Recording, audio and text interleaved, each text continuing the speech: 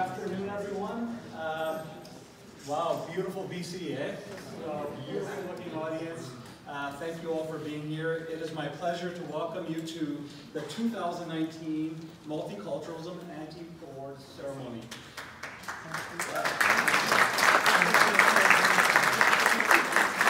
Name is Riley. I'm the Parliamentary Secretary for Sport and Multiculturalism.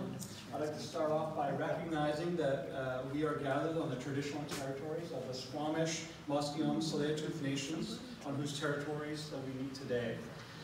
To begin with, I'd like to welcome James Kew. Uh, James Kew is an elder and a knowledge keeper of the Musqueam Indian Band. He's also a member of the Indigenous Business and Investment Council under the Ministry of Jobs, Trades, and Technology. Thank you, James, for joining us today to provide blessing for this special occasion. James.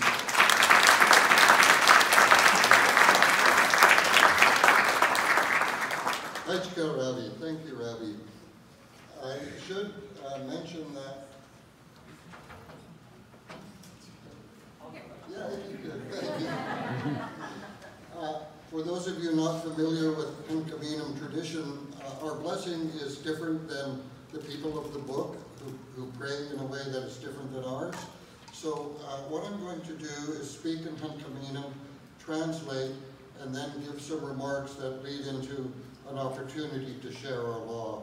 And uh, that will explain the reasons that it's important for Musqueam to welcome you. So I would like to say, ladies and gentlemen, good day, I trust you're all well. Amita Putwilam to Musqueam Osh Thomas, to Shwamas, to Sankaminam. Welcome to the ancestral territory of the Hunkaminam speaking Musqueam people. Isla to Sanslesiaya, to Squamish, to Tsleil-Waututh, and home to our relatives from Squamish and Tsleil-Waututh. I to Squalowin, Quitsni, Quitsnala, I must It's a really wonderful thing to see all of you people here.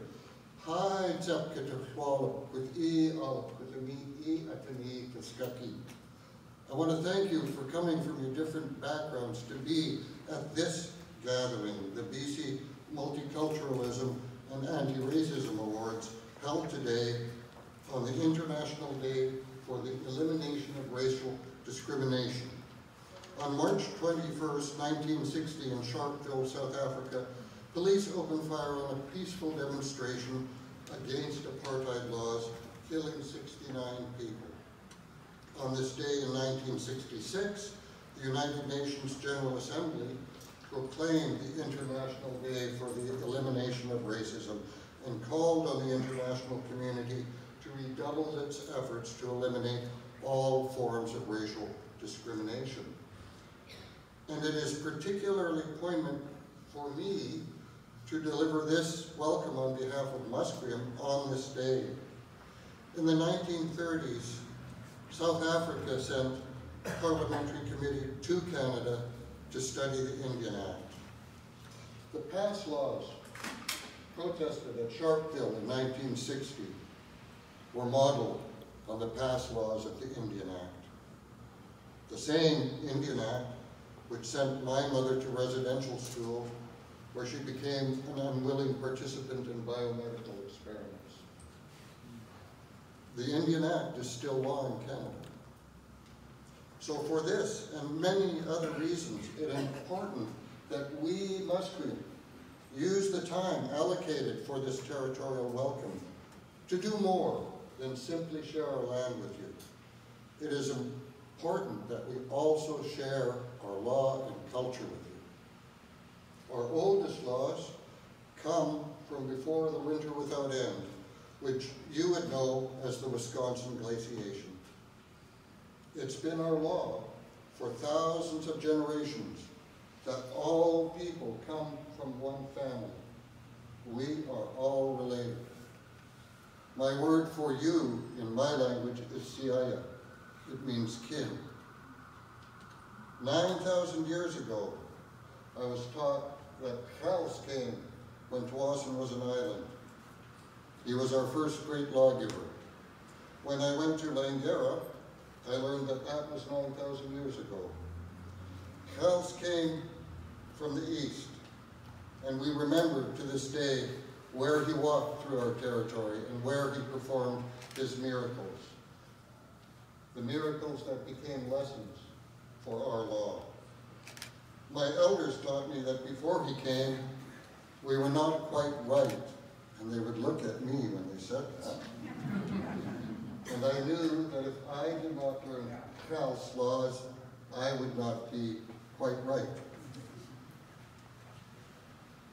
Before he came, we had no empathy. We had no compassion. We had no charity. And we had no forgiveness.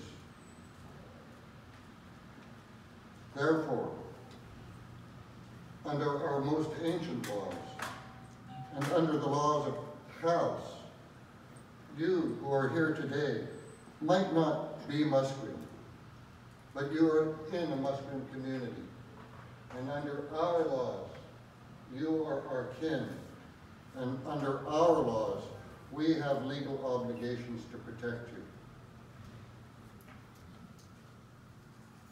These are the Musqueam laws that bind us to welcome you and to forgive those amongst you who are beneficiaries of crimes against humanity unwittingly, unknowingly, and against your will.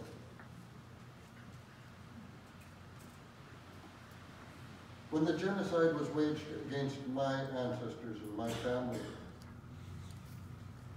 most of your ancestors and family did not give their permission for that to happen.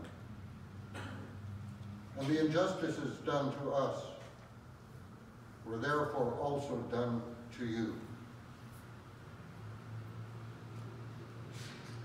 This ceremony here today is consistent with the ancient laws of my people. And one day the aspirations of the United Nations in calling for the end to racism, that might happen in Canada. It might even happen in my lifetime.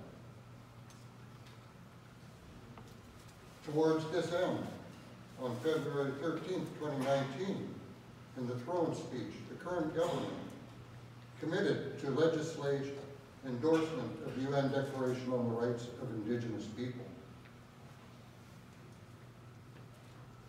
In the oral histories that I am taught, to remember the oldest of days before the winter without end. In the oral histories that I am taught, to remember when Charles came 9,000 years ago, to remember where he walked. We will add this history to our oral history. For these reasons, I want you to understand how sincere the Musqueam welcome to you is. You are our relatives. Thank you